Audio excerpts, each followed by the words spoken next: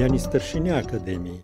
Я прэзідэнт акадэміі і я быў апошнім прэзідэнтам акадэміі, які выбіраўся агульным сходам акадэміі. А пасля мяне скасавалі да, так. зрабілі замест прэзідэнта старшыню прэзідыума. Ну як у нас у краіне уже нідзе няма прэзідэнта. Адзіная асоба прэзідэнта это краіны. Такім чынам мы гутарым з апошнім прэзідэнтам акадэміі навук Беларусі.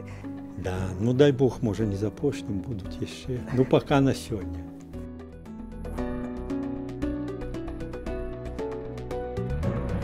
тысячны год калі александр лукашенко прапанаваў вам узначаліць савет рэспублікі нацыянальнага сходу Я быў у злучаных штатах Амерыкі у Чикага і ў 5 гадзін раніцы пазваніў телефон і гэта быў Макей ён тады быў памочнікам прэзідэнта ён сказаў што хуценька прыязджайце ў Беларусь а я кажу так я через два дні прыеду не все прыязджайце адразу Ну я памчаўся мяняючы все білеты а потым можа за хвілін 5 да таго як я ўвайшоў у кабінет прэзідэнту я на сто процентаў зразумеў для чаго мяне завуць хаця это было поўнай нечаканасцю мне ўсе сказалі пагаджайцеся там вы можете для акадэміі зрабіць болей чым тут а другі аргумент я таксама вам скажу чаму я пагадзіўся думаў так ну вось лукашенко яшчэ выберацца ў 2001 годзе вядома ну а ў нас у канстытуцыі два тэрміны і все роўна трэба рыхтаваць э, кадры